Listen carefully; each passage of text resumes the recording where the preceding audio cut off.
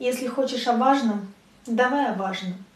Хотя это понятие так двояко, одиночество вовсе не так уж страшно. Страшно в 21 умереть от рака. Страшно ночью не спать от грызучей боли, что вползает под кожу и ест с корнями. А ты роешь могилу от слов «уволен» или «лучше остаться с тобой друзьями».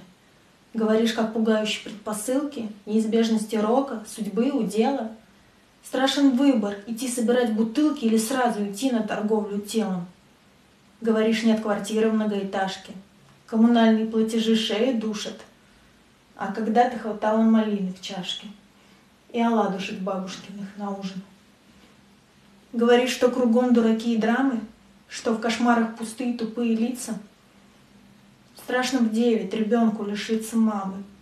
Страшно маме ребенку не дать родиться. Страшно видеть, как мир в себе носит злобу, как друзья обменялись ножами в спину. Если хочешь о важном, давай о добром. Как быть добрым хотя бы наполовину? Как найти в себе силы остаться честным, ощутить свою волю, очистить душу? Правда хочешь о важном? Садись. Чудесно. Важно, что ты еще хочешь слушать.